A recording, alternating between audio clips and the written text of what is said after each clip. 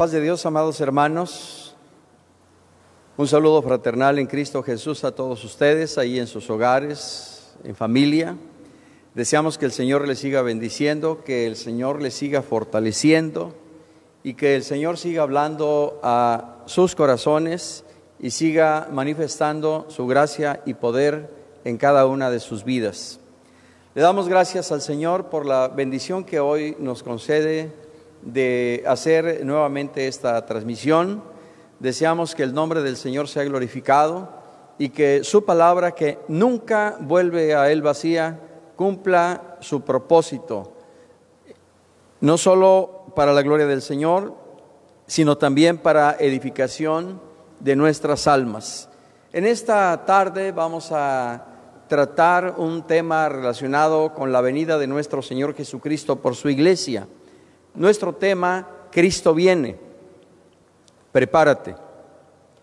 Este es el título de nuestro tema en esta tarde y para ello les voy a pedir que si tienen ahí su Biblia a la mano, la abran en el Santo Evangelio de nuestro Señor Jesucristo según San Mateo, capítulo 24, a fin de que unidos leamos del versículo 37 al 44. El Santo Evangelio de nuestro Señor Jesucristo, según San Mateo, dice así, Mas como en los días de Noé, así será la venida del Hijo del Hombre, porque como en los días antes del diluvio estaban comiendo y bebiendo, casándose y dando en casamiento, hasta el día en que Noé entró en el arca, y no entendieron hasta que vino el diluvio y se los llevó a todos, así será también la venida del Hijo del Hombre. Entonces estarán dos en el campo, el uno será tomado y el otro será dejado. Dos mujeres estarán moliendo en un molino, la una será tomada y la otra será dejada. Velad, pues, porque no sabéis a qué hora ha de venir vuestro Señor. Pero sabed esto, que si el padre de familia supiese a qué hora el ladrón habría de venir, velaría y no dejaría minar su casa. Por tanto, también vosotros estad preparados, porque el Hijo del Hombre vendrá a la hora que no pensáis. De acuerdo con el pasaje que leímos, hermanos amados, encontramos tres elementos. Una promesa, una advertencia y una amonestación una promesa, una advertencia y una amonestación. Consideremos cada uno de estos elementos. La promesa. En los versículos 37, 39, 42 y 44 de este capítulo 24 de Mateo que leímos, el Señor deja ver su promesa acerca de su venida. Si nosotros leemos detenidamente, repito, los versículos 37, 39, 42 y 44, encontramos allí contenida la promesa del Señor Jesús de que Él viene otra vez. En el Evangelio de Juan, capítulo 14, versículo 3, digamos que de una manera todavía más clara, el Señor Jesús dijo a sus discípulos, si me fuere y os preparare el lugar, vendré otra vez. Y os tomaré a mí mismo para que donde yo estoy, vosotros también estéis. Vendré otra vez, dijo el Señor Jesús. El apóstol Pablo, cuando escribe su primera epístola a los tesalonicenses en su capítulo 4, versículo 16, dice, el Señor mismo, con voz de mando, con voz de arcángel y con trompeta de Dios, descenderá del cielo. El Señor mismo, el mismo que murió en la cruz, el mismo que resucitó, el mismo que ascendió, es el mismo que viene otra vez. Los ángeles Usted recuerda que cuando los discípulos están presenciando la ascensión gloriosa de nuestro Señor Jesucristo a los cielos, dos varones con vestiduras blancas, dice el capítulo 1 del libro de los Hechos de los Apóstoles, versículo 11, se presentaron con los discípulos y les dijeron, varones galileos, ¿qué estáis mirando al cielo? Este mismo Jesús que ha sido tomado de vosotros al cielo, así vendrá como le habéis visto ir al cielo. El Señor Jesús, de manera muy enfática, en el capítulo 22 de Apocalipsis, versículos 7, 12 y 20, reafirma la promesa que anunció a sus discípulos que los apóstoles predicaron y que los ángeles confirmaron. Versículo 7. He aquí, vengo pronto. Bienaventurado el que guarda las palabras de la profecía de este libro. Versículo 12. He aquí yo vengo pronto y mi galardón conmigo para recompensar a cada uno según sea su obra. Versículo 20. El que da testimonio de estas cosas dice, ciertamente vengo en breve. Amén. Sí, ven, Señor Jesús. Creo que los que hemos conocido al Señor en su divina gracia, Él nos ha mostrado a través de su palabra que Él viene otra vez. Lo crea o no, Él viene. Se prepare o no, Cristo viene otra vez. Viene por su iglesia. Y esa es la esperanza viva a la que se refiere el apóstol Pedro, que un día seremos llevados con Cristo para ir a ocupar esa herencia incorruptible, incontaminada e inmarcesible, reservada en los cielos para vosotros que sois guardados por el poder de Dios mediante la fe. Por lo cual, nuestros sentidos espirituales deben estar ungidos para escuchar el toque de la final trompeta. Y cuando ese toque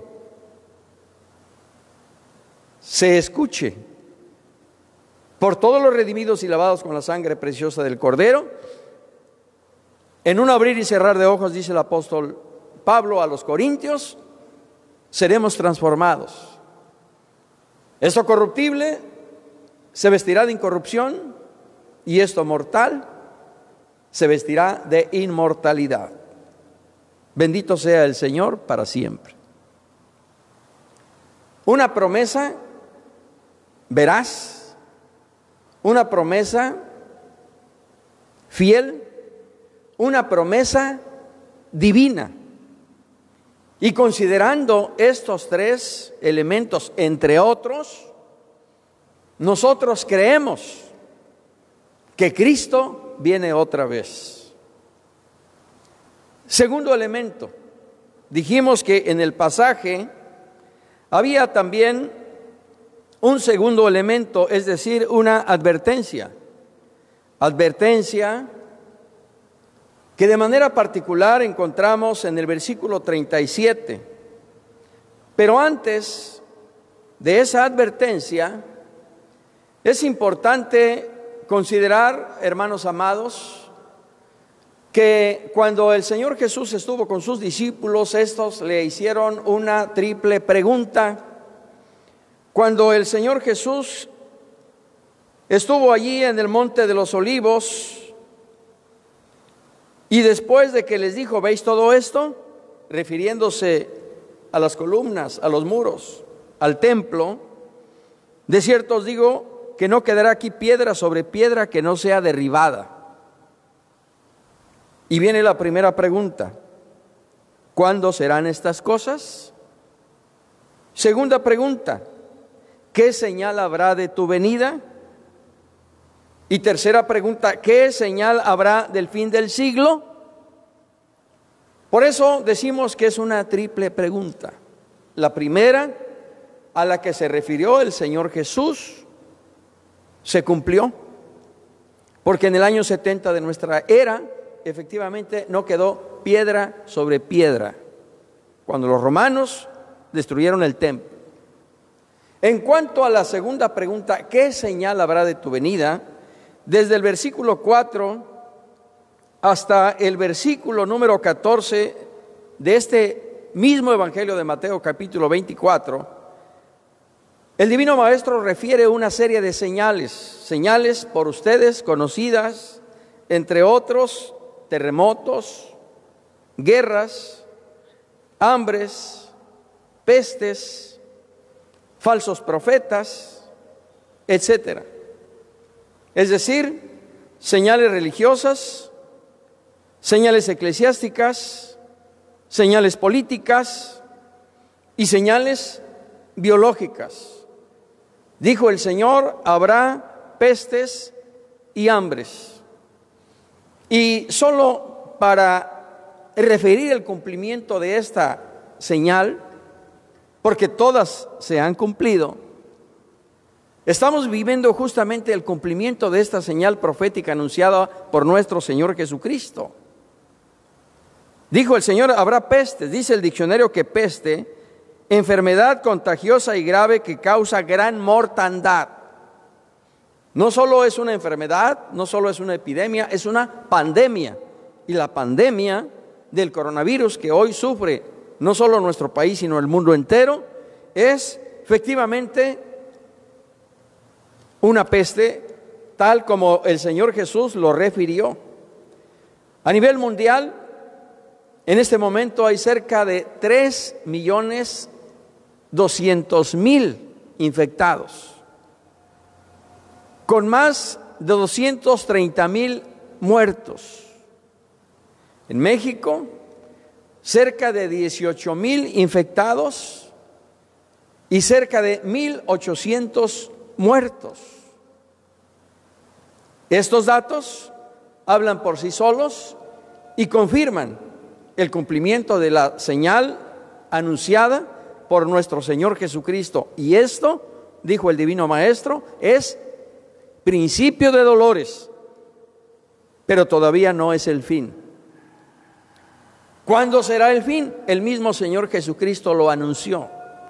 Cuando este Evangelio sea predicado hasta lo último de la tierra, entonces vendrá el fin, dijo el Señor Jesús. La gran señal, la predicación, la proclamación del Evangelio hasta lo último de la tierra. Hermanos amados, creo que en un abrir y cerrar de ojos, esta gran señal también puede ser cumplida a través de los medios tecnológicos y digitales de los cuales se dispone hoy día. A partir de mañana, primero de mayo, y durante todo el mes, inicia toda una campaña evangelística, el mes de la evangelización global, mes en el cual se pretende alcanzar para Cristo mil millones de personas mil millones de personas convertidas a Cristo durante el mes de mayo a través de la predicación y la proclamación del Evangelio. Si esto no nos anuncia la inminente venida del Señor Jesús, entonces yo no sé qué esperamos ver para que finalmente comprendamos, nos sensibilicemos y confirmemos verdaderamente que Cristo viene otra vez. Mateo 24, 37. Dijo el Señor, mas como en los días de Noé, así será la venida del Hijo del Hombre. Esta es una advertencia que el Señor da no solo a los incrédulos, sino aún a los creyentes. Advertencia que tiene un propósito. Para los primeros, que se conviertan a Cristo, que se vuelvan a Dios. Y para los segundos, es decir, para los creyentes, que nos preparemos y que no echemos en saco roto ni hagamos caso omiso a la advertencia dada por el Señor Jesús. Porque así como en aquel tiempo, en la generación de Noé, también se les anunció, también se les predicó acerca del diluvio, claramente dice el Señor Jesús que no creyeron, rechazaron el mensaje, tuvieron a Noé como un loco que hablaba sin sentido, por cuanto que anunciaba un diluvio y además construía un gran barco. Nunca había llovido. Y construir un barco lejos del mar, en una montaña, no tenía sentido. Por lo cual, rechazaron el mensaje y se dejaron llevar por sus pecados, por sus placeres, por su carnalidad y por todo lo que en ese momento imperaba. Sin embargo, claramente dice el Señor, no entendieron hasta que vino el diluvio y se los llevó a todos. Hermanos, amados, de ahí que la referencia que el Señor Jesús hace al diluvio habido en tiempos de Noé es para nosotros y para todos una advertencia para que no nos acontezca lo mismo que a los contemporáneos de Noé, sino que apercibidos de la promesa del Señor y de lo inminente de su venida, nosotros efectivamente nos preparemos.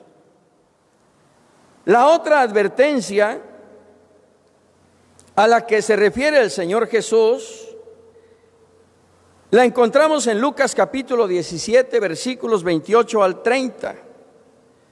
Dice el Señor Jesús, asimismo como sucedió en los días de Lot, comían, bebían, compraban, vendían, plantaban, edificaban, mas el día en que Lot salió de Sodoma, llovió del cielo fuego y azufre y los destruyó a todos. Así será el día en que el Hijo del Hombre se manifieste. Hermanos, si el Señor Jesús hace referencia a dos hechos que tuvieron lugar hace cerca de cuatro o cinco mil años, significa que estos hechos ocurrieron y los está tomando como enseñanza, como advertencia, para que ahora a nosotros no nos acontezca lo mismo. No entendieron hasta que vino el diluvio y se los llevó a todos. Así también será la venida del Hijo del Hombre. Estarán dos en el campo, el uno será tomado y el otro será dejado. Dos mujeres estarán moliendo en un molino, la una será tomada y la otra será dejada. Los tiempos que vivimos efectivamente son semejantes a los tiempos que se vivieron en los tiempos de Noé. Podríamos mencionar tan solo algunas referencias, como por ejemplo el hecho de la unión de hombres con hombres, mujeres con mujeres. Dice el Señor, estaban comiendo, bebiendo, casándose y dando en casamiento. Hombres con hombres, mujeres con mujeres. Usted sabe cómo se ha legalizado también ya el aborto para que dentro de las 12 primeras semanas se corte la vida del embrión, la vida de un ser vivo, y no se considere esto como delito o como homicidio. Muy probablemente el uso lúdico de la marihuana, muy probablemente la muerte asistida o eutanasia, para decirlo de alguna manera, son simplemente algunas de las señales aunado a la ideología de género que confirman que efectivamente estamos viviendo en los tiempos de Noé. Y si estamos viviendo en los tiempos de Noé, entonces, hermanos amados, debemos estar, como dice el Señor, preparados. Y de ahí el tercer elemento del pasaje que leímos. Vimos la promesa, vimos ya lo relativo a la advertencia y ahora tenemos que comentar lo relacionado con la amonestación. El Señor Jesús en Mateo 24, 44 dice, por tanto, también vosotros estad preparados, porque el Hijo del Hombre vendrá a la hora que no pensáis. Qué bueno es el Señor, que no solo anuncia su venida, sino que además da señales para que nosotros, su iglesia, al advertir esas señales, sepamos que Él está a las puertas. Y aunado a ello, desde los cielos, por su Espíritu y a través de su palabra, nos está diciendo, estad preparados, manos limpias, corazones puros, irreprensibles, viviendo en santidad, aceite en nuestras vasijas, aceite en nuestras lámparas. Y si nosotros hacemos esto y muchas otras cosas más semejantes a estas, entonces verdaderamente, hermanos amados, estaremos haciendo nuestra la amonestación del Señor para que nos preparemos. Y si nosotros efectivamente nos preparamos cuando el Señor venga, seremos llevados por Él. En Mateo 24, 42 dice también el Señor, velad pues, porque no sabéis a qué hora ha de venir vuestro Señor. Velad pues en todo tiempo, dice Lucas 21, 36, orando, que seáis tenidos por dignos de escapar de todas estas cosas que vendrán y de estar en pie delante del Hijo del Hombre.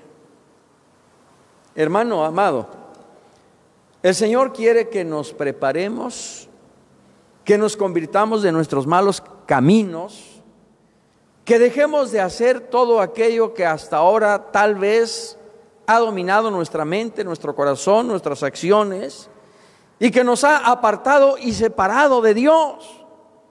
El Señor quiere que nos volvamos a Él y que escapemos de todas aquellas cosas que vendrán después del recogimiento de la iglesia.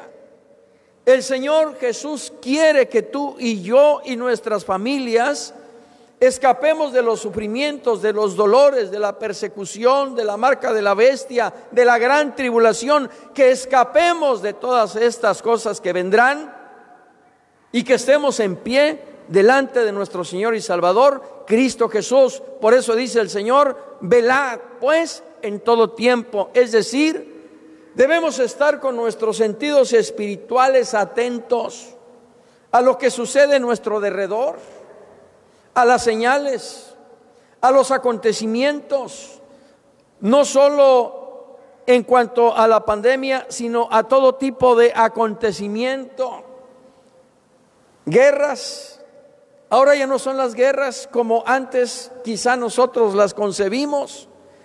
Ahora son guerras por el agua, por el alimento. Ahora son guerras bacteriológicas. Ahora son guerras comerciales. Ahora son guerras de carácter económico, financiero. Son de otro corte, de otro nivel. Pero eso está sucediendo hoy día. Y estas son las cosas que el Señor quiere que nosotros veamos que nosotros estemos atentos, que nosotros estemos apercibidos para que aquel día no nos sorprenda. Usted recuerda el caso de las diez vírgenes, cinco insensatas y cinco prudentes. Las diez vírgenes sabían que el esposo vendría. Las prudentes no solo guardaron aceite en sus lámparas, sino también en sus vasijas. Las insensatas no guardaron la provisión necesaria, sino que se conformaron con lo que tenían, creyendo que era suficiente. Pero cuando se escuchó el clamor a medianoche diciendo, he aquí el esposo viene, salid a recibirle, viendo las insensatas que su aceite se acababa, dijeron a las prudentes, dadnos de vuestro aceite. Las prudentes dijeron, no, para que no nos falte ni a nosotras ni a vosotras, id y comprad. Y en tanto que las vírgenes insensatas iban y compraban aceite, el Señor vino, entró, y aquellas vírgenes prudentes se desposaron con su Señor, se cerró la puerta y cuando vinieron las vírgenes insensatas tocaron a la puerta y el Señor Jesús dijo, no os conozco. Hermanos, no nos acontezca como a las vírgenes insensatas.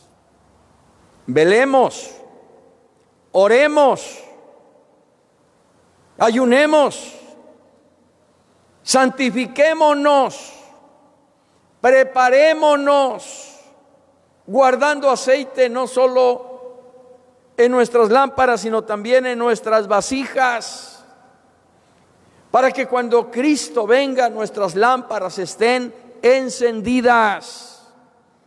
Y cuando Él venga nosotros salgamos a recibirle y nos gocemos y nos regocijemos con Él. De ahí que cuando el Señor habla acerca de su venida en todo el capítulo 24 y en todo el capítulo 25, el Señor refiere varias parábolas, entre ellas precisamente la parábola de las diez vírgenes, para que nosotros asimilemos y entendamos. Por eso dice el Espíritu el que tiene oído para oír, oiga lo que el Espíritu dice a la iglesia.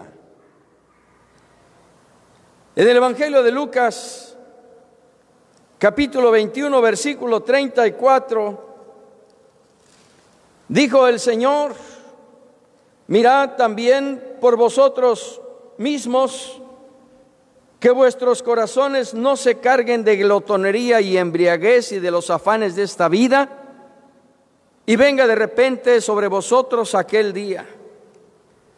Nuevamente, el Señor Jesús, desde lo más profundo de su amante corazón, está hablándonos, amonestándonos, para que el mundo, los afanes, los quehaceres, los placeres, el pecado y todo lo que nos rodea no nos agobie, no nos venza, no nos domine, sino que apercibidos de que Cristo viene, nosotros, hermanos amados, seamos hallados con vestiduras blancas y con aceite en nuestras cabezas Mirad también por vosotros mismos, dice el Señor.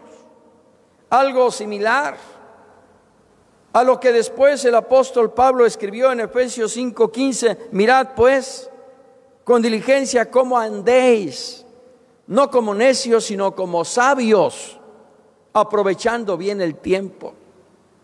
Esa expresión del Señor, mirad pues, es decir, reflexiona Medita cómo estás viviendo, qué tipo de vida estás llevando, qué tanta seguridad tienes en este momento de que si el Señor viene, te vas con Él. Es ahí a donde el Señor nos quiere llevar. Mirad también por vosotros mismos, más que pensar en el que está a tu derecha, en el que está a tu izquierda, en aquel que está en tu casa, el vecino, el conocido. Mira a lo profundo de tu corazón, escudriñalo. pero escudriñalo según la palabra de Dios, según el consejo del mismo Espíritu. Y el Espíritu, por su palabra, te revelará lo que está en tu corazón, para que de esa manera tú te des cuenta que necesitas volver al Señor, que necesitamos corregir la dirección que llevamos, que necesitamos santificarnos cada día más para que aquel día, cuando Cristo venga, no nos sorprenda. Dice el Señor, velad pues en todo tiempo, orando, que seáis tenidos por dignos de escapar de todas estas cosas que vendrán y de estar en pie delante del Hijo del Hombre. Hermano, el Señor nuestro Jesucristo dijo a sus, discípulos, voy a preparar lugar para vosotros. Y si me fuere y os preparar el lugar, vendré otra vez y os tomaré a mí mismo para que donde yo estoy, vosotros también estéis. El Señor Jesús le dijo al Padre en aquella oración pontifical, Padre, quiero que donde yo estoy, también estos estén conmigo, para que vean mi gloria, la gloria que me has dado desde antes de la fundación del mundo. Hermano, el Señor Jesús quiere que donde Él está, nosotros también estemos.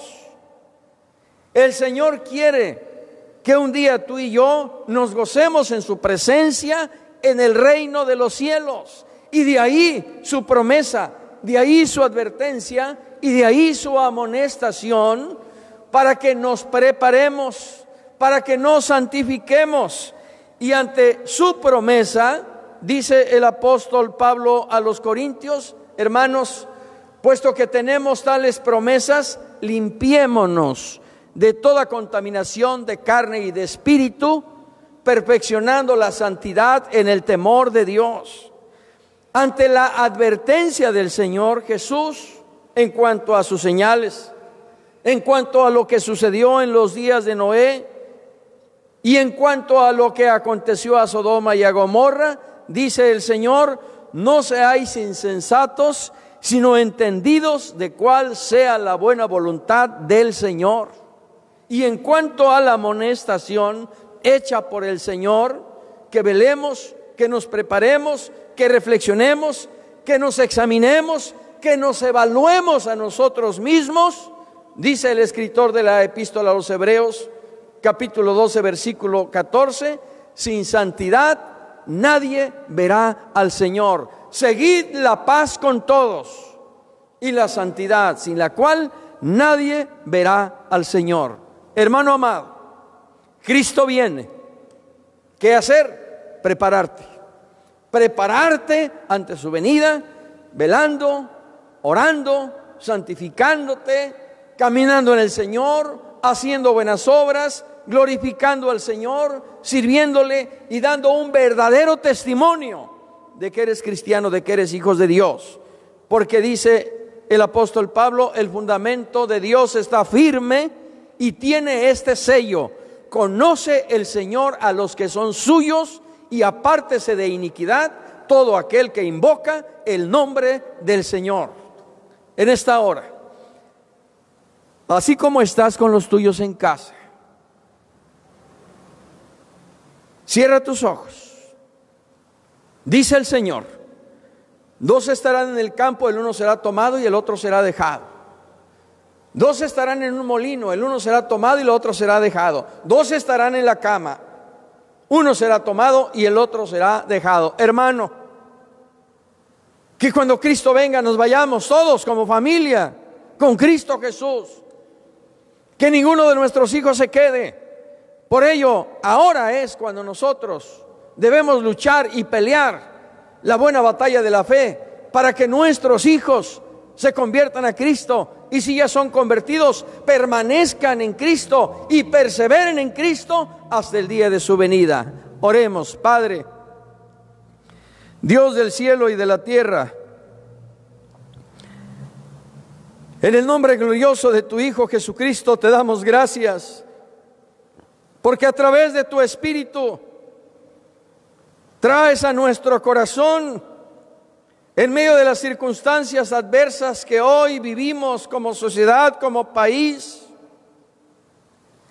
esta promesa maravillosa que nos alienta, que nos motiva, que nos hace estar en pie delante de ti y nos lleva a guardar la esperanza bienaventurada de que un día todo esto terminará. Sufrimiento, enfermedad, dolor, hambre, desempleo, carencias, guerras, violencia, secuestros, todo eso terminará.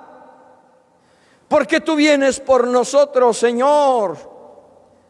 Y aunque ahora sufrimos y padecemos como tú mismo lo dijiste, en el mundo tendréis aflicción, pero confía yo he vencido al mundo. Anhelamos, Señor, en tu nombre ser más que vencedores. Y cuando tú vengas, anhelamos también irnos contigo. Si vivimos, seremos transformados.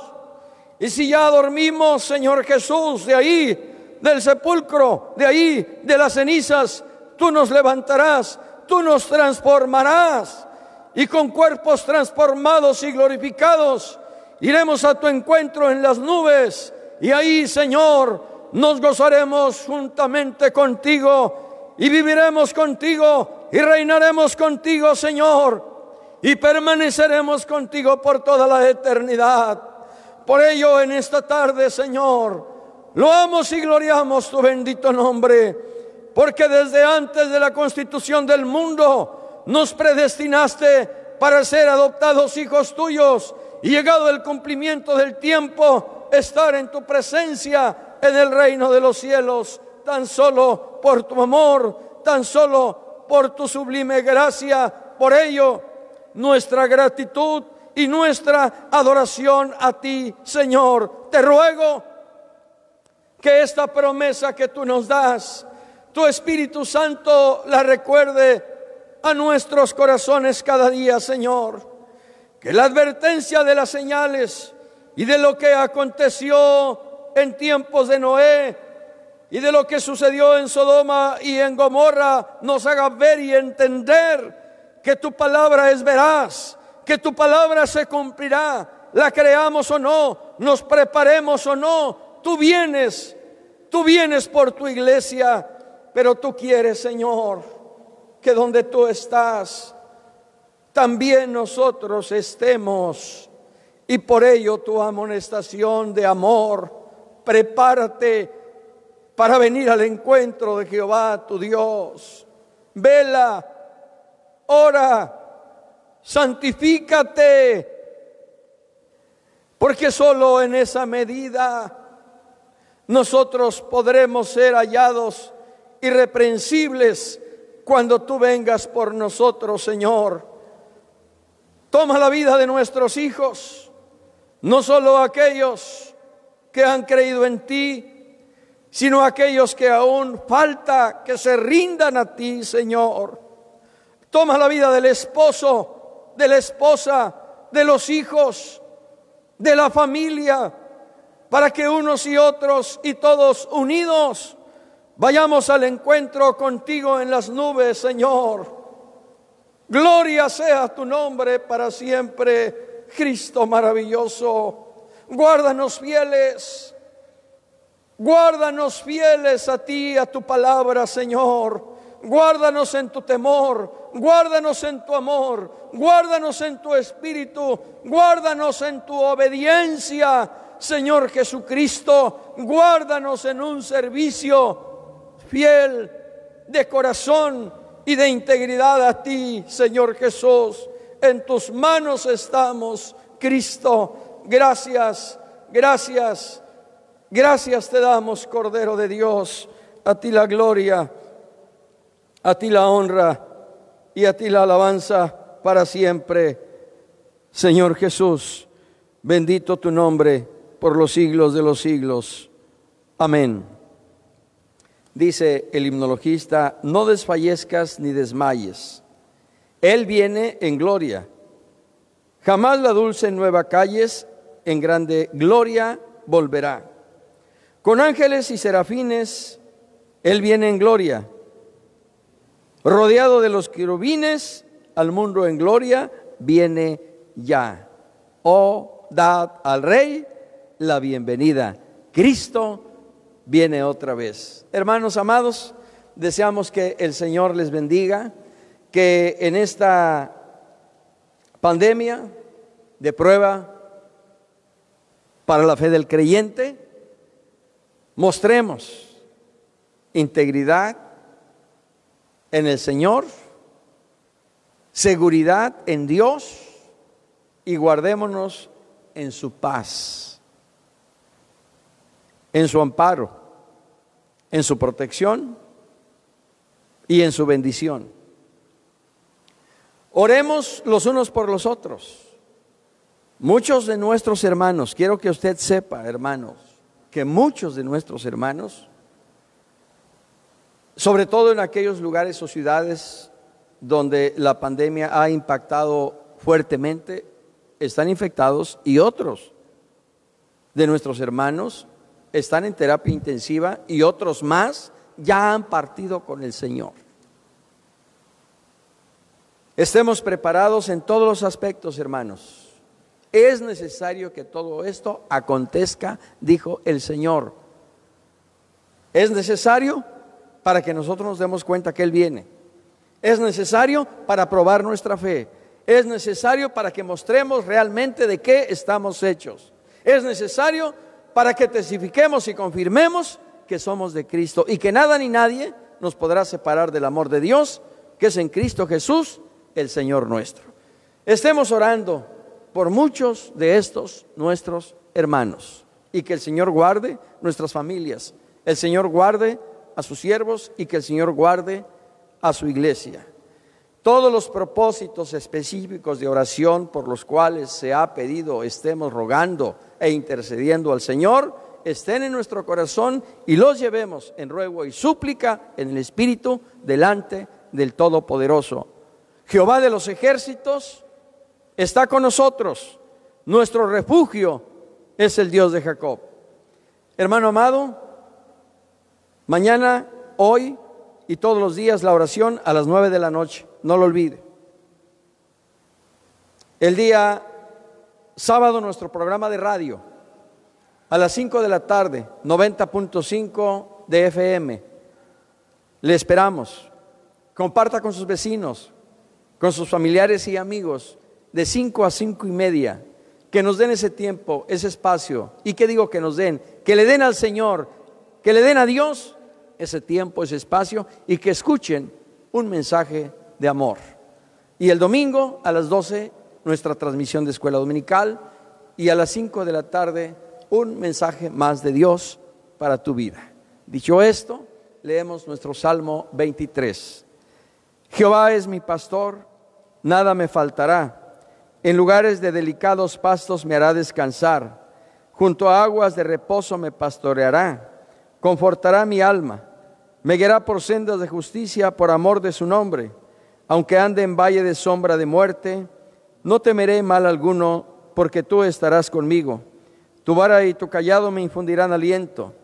Aderezas mesa delante de mí en presencia de mis angustiadores. Unges mi cabeza con aceite, mi copa está rebosando. Ciertamente el bien y la misericordia me seguirán todos los días de mi vida, y en la casa de Jehová moraré por largos días. Amén. Hermanos, la gracia del Señor Jesucristo, el amor de Dios y la comunión del Espíritu Santo sean con todos vosotros. Amén. El Señor le bendiga, hermano amado. Saludos fraternales a su familia. La paz de Dios sea con todos vosotros.